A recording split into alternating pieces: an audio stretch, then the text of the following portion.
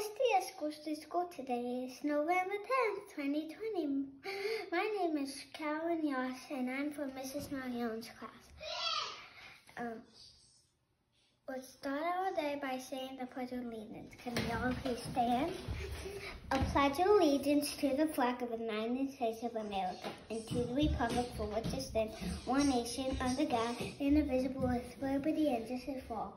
Thanks for tuning in, and remember, at School Street School, we play, learn, and grow together. Have a wonderful day. Hi, School Street School.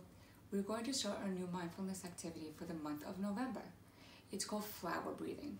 Let's pretend we have a beautiful flower in front of us. Look at all the beautiful colors. How do you think it smells? Let's bring it closer.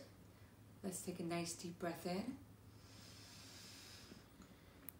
And let's blow softly. Let's breathe in. Breathe out.